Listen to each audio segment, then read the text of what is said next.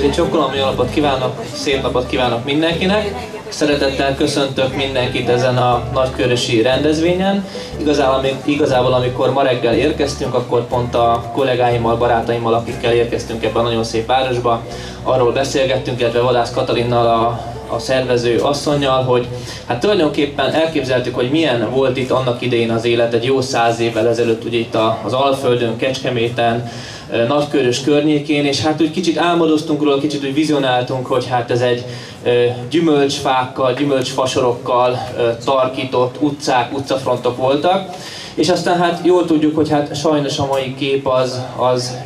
a száz évvel ezelőttihez képest mennyire hát lehangolóbb, illetve kiábránítóbb. A jó hír az, hogy az elmúlt években, elmúlt évtizedben azért egyre jobban kezd felértékelődni a régmúltnak azon szerepe, hogy újra ezeket a régi ötleteket, ezeket elkezdjük megvalósítani. Hát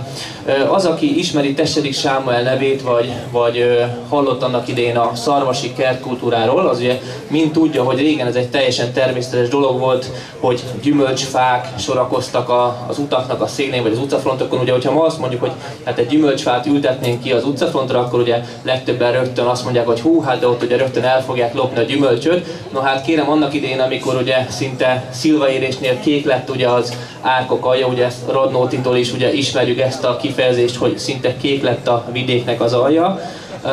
Ezt mindannyian tudhatjuk, hogy, hogy egy mennyire más világ volt, és én azt remélem, hogy a következő évtizedekben, a következő években folytatódik az a, az a kertkultúrának az a megreformálása, az a újraértelmezése, ami elindult ebben az országban. Úgyhogy a mostani előadásomban is ezt a pár gondolatot szeretném kiemelni, hogy hogyan tudjunk olyan hazai klímához is alkalmazkodó növényeket ültetni, növényeket tervezni a hazai kertekbe, és hogy ezeket újra tudjuk gondolni. Csak emlékeztetnék mindenkit arra, hogy másfél-két évtizeddel ezelőtt hát arra, hogy milyenek is legyenek az újkori a rendszerváltozás utáni magyar kertek, bizony nagyon sokan rossz választ adtunk valamiért, nagyon sokan ilyen mediterrán kerteket kezdtek el kilakítani, teleültették ugye tájidegen tujákkal a kertjéket, és hát látjuk azt, hogy, az, hogy akkor rossz választ adtunk ezekre a kérdésekre, hogy mégis találjuk ki magunkat, találjuk ki a kertjénket, találjuk ki a közterületénk utcafontjait, Hát most súlyos árat fizettünk, hiszen azt látjuk, hogy nagyon sok helyen e, ilyen sorokban pusztulnak ki a tuják a kertünkbe. Ugye nagyon sokszor, hogyha ezt ki lehet próbálni, fölhívunk egy konténer céget, és azt mondjuk, hogy jó napot kívánok, én egy sittes konténer szeretnék kérni, e, mert a kertben dolgozok, akkor a konténer cég az visszakérdez, hogy tuja lesz bele. Tehát sajnos ez az elmúlt három évnek az eredménye. Ugye jól tudjuk, hogy ezeket az örökzöldeket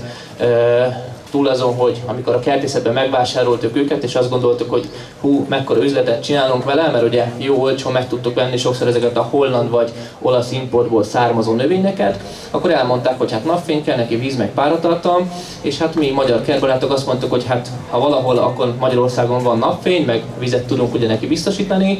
és hát a páratartalom fölött csak legyintettünk. És aztán utána az elmúlt három évnek a nyarai, tehát 2011-től kezdődően, mondjuk csak arra, hogy 2011 nyarán on gyakorlatilag júniustól november végig, tehát a vegetációs időszak legnagyobb részében, kétharmadában lényegében egy csepp eső sem esett Magyarországnak ezen a részen, Budapesten, a főváros és környékén. És hát ez gyakorlatilag, ha valaki mondjuk a kertjébe különböző dísznövényeket vagy haszonnövényeket ültetett, akkor a vizet azt még csak-csak tudta pótolni, de gyakorlatilag a páratartalom igényel szemben szinte tehetetlenek voltunk. Egy pár altémára bontottam a, a mai kis beszélgetésünket. Kezdjük talán a balkonkertészettel. Lehet, hogy egy, egy vidéki városban vagy a környékén hát a balkonkertészkedésről beszélni szinte visszalépésnek számít, mert azt gondoljuk, hogy hát itt mindenkinek több száz négyzetméteres vagy több ezer négyzetméteres portája van, azt látom azonban, hogy megváltozott az életmódunk, tehát már nem ugyanannyi időnk van, mint mondjuk a 70-es vagy a 80-as években, vagy akár a 90-es évek elején. Tehát a mai rohanó életmódunkhoz és munkánkhoz, elfoglaltságunkhoz kellene hozzáigazítani a kertjeinket. Ezen kívül azt látom, hogy ahogy a, a, a sokkal korábbi évtizedekben a háború után még teljesen természetes volt, hogy a, a generációk azok ezt az úgynevezett kerti tudást, tehát hogy mégis a, a kertből, amit tudunk, azt húzzunk ki a földből, ezt ugye még megtanult a következő generáció, addig most 2014-ben sajnos már azt lehet mondani, hogy gyakorlatilag a, a mostani generáció az ott már, ott, ott már ugye kimaradt gyakorlatilag egy korszak, és kimaradt egy olyan ö, szint, ahol ugye a szülőktől megtanulták volna a kertnek a művelését. És hát ezért mondom azt, hogy lehet, hogy ez most itt ebben az előadásban visszalépésnek tűnik, de én azt gondolom, hogy akkor, amikor vidéki utakon megyünk, és azt látjuk, hogy a, a portákon nagyon sok helyen ugye hát a gaz még az előkerteket is ugye felverte, és hátul is ugye a gyümölcsös helye, helye van már csak meg, és hát a legtöbb otthon könnyedén megtermelhető zöldséget vagy gyógy és fűszernövényt sem termelik meg otthon, akkor igenis beszélni kell arról. A, a kertészkedés, akár haszonkertészkedésről van szó, akár, akár a dísznövényekkel szeretnénk a környezetünket kicsikét szebbé tenni, e, igazából mindig kicsi, apró lépésekkel kezdődik. Úgyhogy azért fontos és érdekes itt a balkonkertészkedésről egy picit beszélni, mert ez az a, ez az a szint, ahonnan bárki el tud indulni. Természetesen nem arról van szó, hogy ez csak egy erkélyen, vagy csak egy balkonon, vagy csak egy teraszba, teraszon lehet elkezdeni, hanem arról, hogy hogy kezdjük kicsibe. Tehát, hogyha valakinek most van egy 600-800 négyzetméteres kertje, de gyakorlatilag a, a kertészkedéstől, a mindennapi kertészkedéstől valamiért eltávolodott az élete, akkor nem azzal kell kezdeni, hogy akkor rögtön a több száz négyzetmétert az felszántatja, és akkor ott elkezd valamiféle, hát a maga mértékéhez, vagy maga léptékéhez képest nagy üzemben kertészkedni, hanem 2014-ben azt mondja, hogy akkor legalább egy most egy akkora területen, mint ahogy ez az asztal, meg itt ez a kis sátor eleje van, tehát mondjuk egy olyan 4-6 négyzetméteren, legalább akkor azt mondom, hogy elkezdek akkor gyógy- és fűszernövényeket termelni. Mert ha elkezdek gyógy- és fűszernövényeket termelni, itt, hát egyébként ugye, ha itt most végignézünk a kínálaton, akkor azért azt elmondhatjuk, hogy Nagykörös és vidéke az, az ország többi részéhez képest igenis hát egy, egy kertészeti résznek, kertészeti területnek számít, tehát látjuk azt, hogy nagyon sok termelő, zöldségtermelő, zöldségpalánta termelő, meg virágpalánta termelő kertészet van itt a környéken, tehát palántákat viszonylag könnyen beszerezhetünk, és hát ne felejtsük el azt, hogy a kertünkben megtermelt növények közül csak az a miénk, amivel tudunk is mit kezdeni. Ezt általában az ilyen fűszerkertek témakörénél szoktuk elmondani, hogy hiába van egy olyan növényünk, mondjuk például a amiből azt gondoljuk, hogy ilyen meg olyan anyagokat lehetne kivonni. Minden gyógy- és fűszernövényes csak annyit ér, illetve csak akkor ér valamit, hogyha azt meg tudjuk tanulni, és hát integrálni tudjuk a konyhapultunkra. Mondok egy példát, hogyha ültettünk mentát, akkor, amikor elültettük a mentát, akkor érdemes rögtön ugye legalább két-háromféle receptúrát, két-háromféle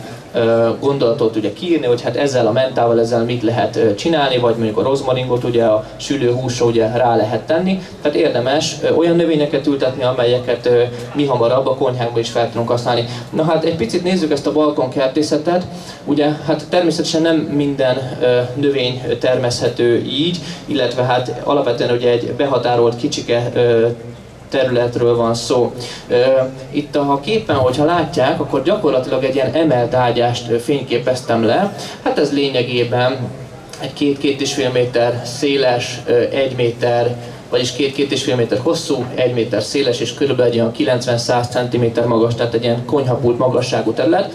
Hogyha egy átlag kerbarátot megkérdezünk arról, hogy egy adott növénynek, mondjuk megvásárolunk egy, egy növényt, mondjuk itt egy, egy kivi növényt hoztam, direkt hoztam egy picit ilyen különlegesebbnek tűnő növényeket, amelyről aztán majd mindjárt meg fogjuk beszélni, valójában nem is annyira különlegesek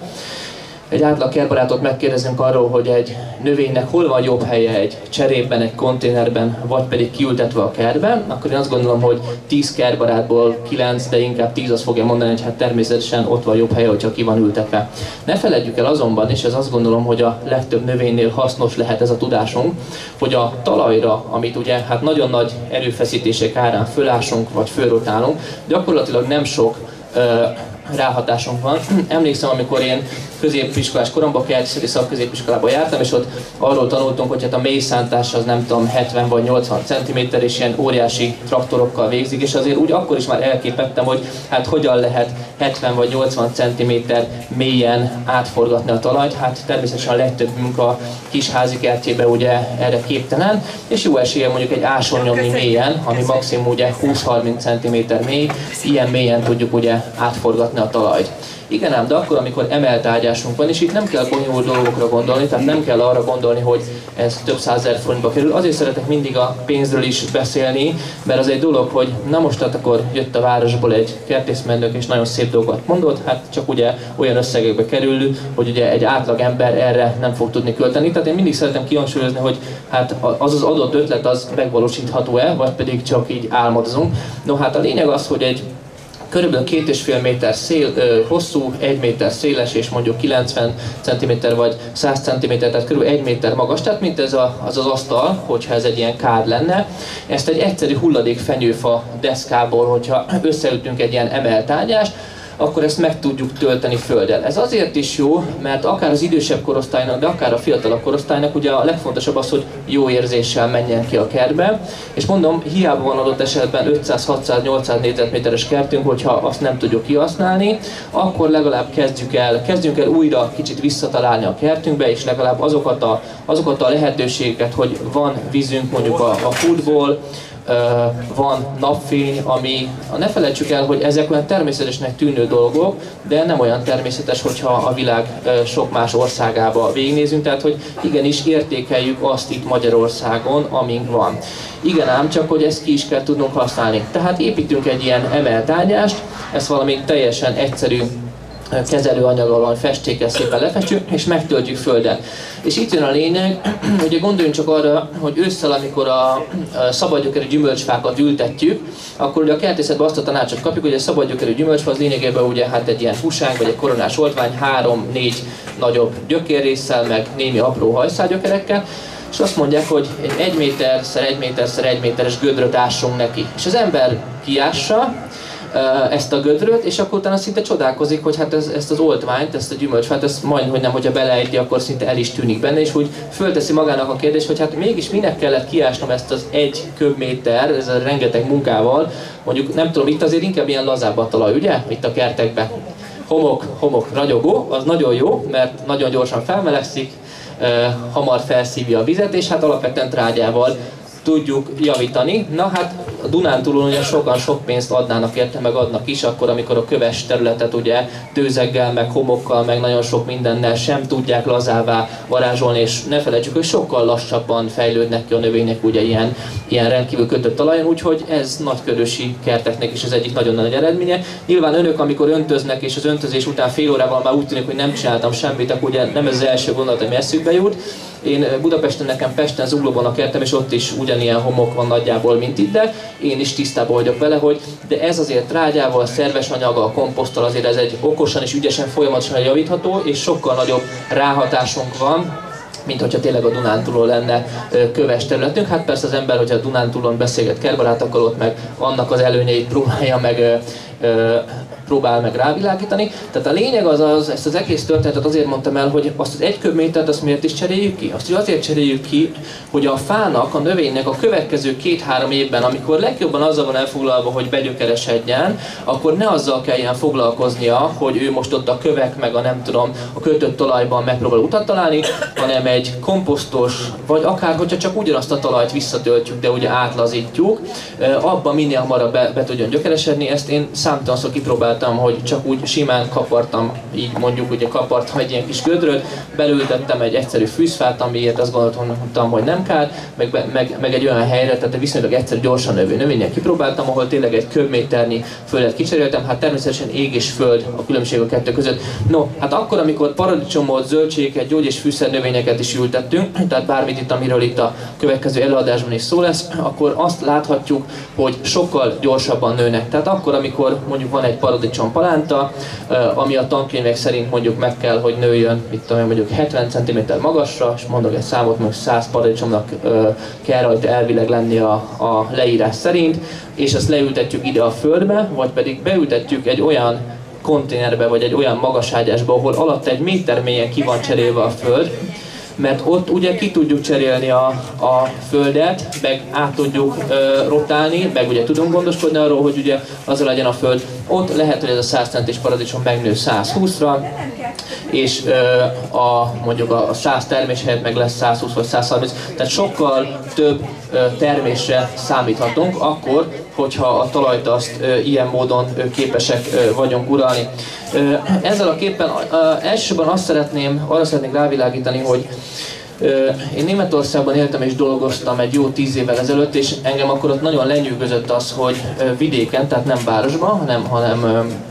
kertészettel foglalkozó vidéken, ahol ugyanúgy zöldségpalántákat termeltek, mint, mint itt a környéken, és mégis lenyűgözött az, hogy hogyan tudták azt megoldani, hogy a kert az alapvetően, csak sajnos itt az elmúlt évtizedekben ez rögződött be a legtöbb magyar ö, kertbarát szívébe, fejébe, hogy hát a kert az egy ilyen sáros valami, mint ahogy sajnos legtöbbünknek tényleg az egy sáros valami, tehát ilyenkor esőbb azt mondjuk, hogy hú, ki sem megyek a kertbe, pedig hát mit vesztünk vele, ugye ilyenkor a legfinomabbak az illatok a kertekben, ugye eső után. Rengeteg olyan kertészeti tip, trükk és praktika van, hogy ezeket a kerti felületeket, ezeket hogyan lehet teljesen leburkolni, fa, mulcsal, stb. Gondoljunk csak arra, hogy ami még Budapesten mondjuk, vagy nagyvárosokban ilyen megbotránkoztatást keltene, mondjuk egy kertész ezt mondaná, az vidéken teljesen természetes és normális, hogy a a kihúzott gyomot, lehetőleg olyat ugye, ami mondjuk így a magját esetleg még nem szórja, de addig, ameddig ez nem következik be, addig a kihúzott gyomot, az miután megszáradt a napon, hova dobtuk annak idején, a gyümölcsfának a korona csurgójába. És hát ugye ez egy teljesen természetes dolog, utána az be lehetett ott forgatni. Mit csinált? Mulcsolta a talaj felszínt? Mulcsolta jól nézett ki? Nem gondolkoztunk ezen, hát ezek növények, amit kihúztunk, szerintem egyébként még azt se lehet mondani, hogy rosszul nézett volna ki. Tehát nekem egyébként kifejezetten uh, pihentető így a szememnek, vagy szóval a én szememnek az kedves, hogyha így a gyomok is szépen rendezett. Tehát az is nagyon, nagyon gusztusos, hogy a körbe lehet rakni megakadályozza, hogy, hogy a szél felkapja a talajt, megakadályozza. Megakadályozza azt, hogy, hogy jobban a nap kiszárítsa a talajt, megakadályozza. Tehát ugye az új gyom ugye meg már ugye nem fog kinőni, ugye Ugye nagyon sokan, akik ugye nem értenek hozzá, főleg városi emberek mondják, hogy hát én olyan földet rendelek, amiben nincsen gyommag. Hát el kell nekik mondanunk, ugye, hogy hát nincsen, mert egy négyzetméter vagy egy köbméter földben ugye több millió inaktív gyommag van, ez gyakorlatilag bárhol, bármilyen körülmények között kinő, kivéve akkor, hogyha ugye teljesen hermetikusan le van zárva a talaj, tehát éppen ezért, hogyha a gyepfelületünket is itt is itt ugye nagyon szépen van gyepesítve, hát nincsenek is benne gyomok, azért, mert ezt, ezért a gyepér mindent megteszünk, hogy, hogy ez teljesen le legyen fedve. De hát ugyanígy ezeket a régi dolgokat elő lehet szedni. Ne felejtsük el azt, hogy, hogy, hogy, hogy 50 meg 70 évvel ezelőtt ezekben az ápolt vidéki kertekben valójában úgy tűnik, hogy, hogy reggeltől estig a kertben robotoltak, de ez, ez nem így van. Tehát akkor, amikor megnézünk ilyen korabeli leírásokat, hogy, hogy a kertek azok mivel voltak borítva, akkor azt látjuk, látjuk, hogy sokkal természetesebben alkalmazták azt, amit nekünk most így újra kell tanulni. Hát ezt a kis meténget, ezt a vinkát azt gondolom, hogy mindenki ismeri. Ugye úgy kezdődik általában egy ilyen kertépítésről szóló beszélgetésünk vagy előadásunk, hogy hát beültetjük a növényeket, és akkor valamivel takarjuk a talajt, ugye geotextiliával, esetleg fenyőkéreggel, vagy fadarálékkal, vagy most az előbb beszéltünk, hogy, hogy, hogy gyommal mulcsunk, vagy akár kővel, ugye ez most újra nagy divat. Hát egészen addig divat, ameddig mindenki meg nem tapasztalja, hogy a szórt kavicsból vagy a kőből a lehullott lombot utána milyen érzés kiszedni, és akkor rögtön egy új ö, taktikán próbál gondolkozni, és hát a legnyilvánvalóbb dolog, hogy ugye a növényektől vagy a fától nem látjuk az erdőt, és a növényektől nem látjuk a lényeget. Mivel lehet a talajt a legjobban takarni? Talajtakaró növényekkel. Mutatok egy példát, hogy ezt a Vinca minort, ezt a, ezt a kismeténget beültetjük bármilyen fa alá, ugye ez árnyékban is nagyon szépen fejlődik. Ez most csak egy példanövény, tehát rengeteg ilyenünk van. Ebből mondjuk egy 3-5 darabot beültetünk, mondjuk egy fa alá, akkor ugye amikor a fának lehullik a levele, és akkor a fenyőkérekből, vagy a kövekből, vagy bármiből ugye nagyon nehezen tudnák kiszedni a, a, a lombot, akkor egyszerűen ezt csak így most megfogjuk, hát hogyha önök kerbarátok, akkor talán ezt megbocsátják nekem, mert Pesten általában erre ugye mindig felszóltak sziszenő, hogy jaj, mi történik a növényel, hát nem történik vele semmi, csak igen, megfogjuk, de látom, hogy itt azért mindenki napi szinten ér hozzá a növényekhez, hála Istennek, tehát így megfogjuk, és akkor hogy valahol ugye így itt elnyisszantjuk, mondjuk ősz végén, tél elején vagy kora tavasszal, és gyakorlatilag akkor, amikor a lombot úgy is le kell gerebézni, akkor ezzel a, ezzel a szerves anyaggal együtt legerebézzük. Tehát ezek azok a, a a gondolatok, tippek, trükkök, amiket most így újra kell tanulnunk, és újra vissza kell nyúlnunk ezekhez, mert látjuk, hogy amikor a, a 90-es években ugye a rendszerváltozás után egy újfajta kertkultúrát kezdtünk el tanulni, akkor valamiért azt gondoltuk, hogy nekünk a mediterráneumban lévő kertkultúrát kell meghonosítani, vagy, vagy a Nyugat-Európában, hogy akkor középen gyepfelület van, és akkor körbe különböző öregzöldek, és hát föl kell tennünk a kérdés, hogy miért tettünk így, amikor gyakorlatilag Magyarország az Európa egyik legszebb kiskertje lehetne. Most túl a filozófiai megfogalmazáson keresztül, igenis legyünk büszkék arra, hogy fantasztikus több évszázados kertkultúrát tudunk felmutatni, és az itt felhalmozódott ö, tudásból ö, igenis meríthetünk, és ö, ilyen egyszerű ö, gondolatokkal tudjuk szebb és könnyen fenntarthatóbbá tenni a, a kertünket. Egy pár gondolat még arra, hogy, hogy akár balkonon, akár kiskertben mi az, amit ö, nevelhetünk. Még a kiviről szeretnék egy ö, picit beszélni. Nem tudom, hogy van-e valakinek, vagy termele valaki otthon kivit. Senki még egyelőre. Nagyon sok ö, szőlős gazda, vagy olyan ö,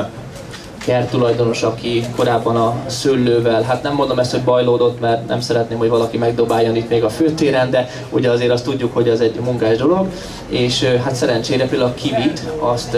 bemutathatjuk úgy, ha ültetünk otthon, akkor két-három év múlva nyugodtan mondhatjuk majd a családtagoknak, akik hozzánk jönnek vendégségbe, vagy a, a, a, az ismerősöknek, vendégeknek, hogy hú, hát kitanultam a kivitermesztés nagy tudományát, szerencsére, ezt csak így magunk között mondom, hogy ez egy nagyon egyszerű dolog, ugye ültetni kell egy porzósat és három-négy terméset. Magyarországon egyre többen ültetnek kiviket, akár ültetvénybe, és egy teljesen fagytűrő növényről van szó, amiből ugye hát kell ültetni egy porzósat, és akkor legalább 3-4-5 termőset. És hát ugye azt mondjuk, hogy ismerjük a kivinek az ízét, ugye kicsit ilyen savanykás, vagy kicsit ugye, csak ugye nagyon nehéz az, hogy megveszünk a kivit, és akkor ha hagyjuk, hogy még ugye utolérő, hogy kicsit ugye tovább érjen, akkor utána pedig ugye azt látjuk, hogy hát kicsit így szinte, bocsánat, a kifejezés ilyen plöttyet, tehát ugye utána már, már, már az ilyen eljött, és már ugye nem annyira finom. Hát ez azért van, mert a kivi gyümölcsel úgy igazából még, még nem találkoztunk. Azért nem találkoztunk, mert ugye ezek nyilván hát szinte még nyersen, félig éretten szedik le, és hozzák be az országba, és akkor hát itt valahol ilyen házakban utolérlelik, és akkor ugye így kerül hozzánk. No hát a jó hír, hogy megérezhetjük a kivinek a, az ízét mi magunk is, Hát ilyen 1500-2000 forint körül van egy kivitő, tehát gyakorlatilag nem egy olyan túl nagy beruházás, hogyha egy ilyen kis mini kivi ültetvényt szeretnénk otthonra. És ez megint csak az a növény, ami azt mondjuk, hogy, hogy különleges, mert ugye legtöbb kerbarátnak, tehát általában a, a kerbarátok kérdései azok mindig olyan növényekre irányulnak, ami, ami, ami valamiért nem megy Magyarországon. Hát ugye gondoljuk végig, ugye, hogy a, a leánderről ugye pontosan tudjuk, hogy, hogy ugye mind, és val, valamiért nem tudunk elszakadni a leándertől, vagy, vagy ugye azt a cukor üvegfenyőt erül, e, e, erőltetjük, vagy nem tudom, ezt a, ez a színes levelű krotont, ezt kiismeri ilyen szobanövényként. Mindig megvesszük, tudjuk, hogy ha rányítjuk csak egyszer az ablakot, csak van, mert ugye azt írják, hogy nem bírja a húzatot. Hát nem a húzatot nem bírja, azt nem bírja az emeleten, hogyha valaki lent bejött. Tehát egy rendkívül érzékeny növény, de mégis újra és újra megvesszük, és igazából ebben érdemes egy picit elindulni egy olyan irányba, hogy itt most hoztam egy pár cserét, esetleg előadás után, akinek kérdése van, nagyon szívesen válaszolok. Tehát a jó hír az az, hogy fantasztikus mennyiségű, tehát óriási repertoár az, amiből választhatunk olyan hazai cserjék közül, olyan hazai növények közül, amelyek hát, ha úgy tetszik, különlegesnek is fognak hatni a kertünkbe, tehát biztos, hogy a szomszédunkban nincsen, és jó eséllyel tudjuk őket nevelgetni. Ugye ilyen példa, ugye ez az ácert palmátumból, ugye ebből a japán juharból van szinte ez a vörös, szintén nagyon sokan szeretik, és hát beültették, ráadásul ugye nem is olcsó, mert azért mondjuk tényleg egy ilyen 40-50 cm-es példány azért az bizony már tízezerekben mérhető ugye az ára, de nem megy, ki kell hozzá cserélni a földet, és teljesen felesleges akkor, amikor mondjuk szárnyos keskerágóból van olyanunk, ami, ami megél az erdeinkbe, töredék annyiba kerül, és, és tényleg elvehetetlen az a, az, az a színvilág, amit ugye képes számunkra nyújtani. Szóval mindenkit most itt az idő rövidsége miatt nagyjából itt be is kell fejeznünk, tehát még utoljára ezt a képet szeretném megmutatni, hogy, hogy ez azt gondolom, hogy mindannyiunknak a, hát a retinájába beleégett ez a pusztuló tujasorok, tulajdonképpen látjuk, és hogy az embernek a szíve szakad megérte, amikor látja ezeket a egyébként jobb sorsra érdemes örökzöldeket, ugye nem véletlen, hogy ezeket is a hazai termesztők is ugye Magyarországnak inkább a nyugati részén, Zala megyében termelik, tehát, hogy alapvetően a figyelmünket azokat inkább irányítsuk azokra a növényekre, és mondom jó hír, hogy rengeteg ilyen növény van. És van is hazai szakirodalom, aminek a segítségével tudunk ezekhez a növényekhez nyúlni. Érdemes a növény kiválasztásnál esetleg akár szakember, akár a a környékbeli, régóta kertészettel foglalkozó szakemberek, vagy ezzel foglalkozó ö, ismerősöknek a véleményét kikérni. Tehát, hogy feleslegesen ne ö, próbálkozzunk olyan növényekkel, amelyekről valamiért azt gondoltuk másfél-két évtizeddel ezelőtt, amikor elkezdtük újra gondolni a hazai kertkultúrát, hogy ez majd itt jó lesz nálunk, hiszen nekünk van saját kert, kertkultúránk, ö, vannak ö, saját hazai nemesítés, illetve Magyarországon nemesített, illetve termelt növények, és ezek nem feltétlenül csak a lomblevelűek, vagy csak a lombhullatúak. Gondoljunk például a babérmegyre, hogy hány magyar fajtája van a babérmegynek, és hát az ugye mindenféle elképzelésünknek megfelel, is, megfelel, mert ugye örökzöld is,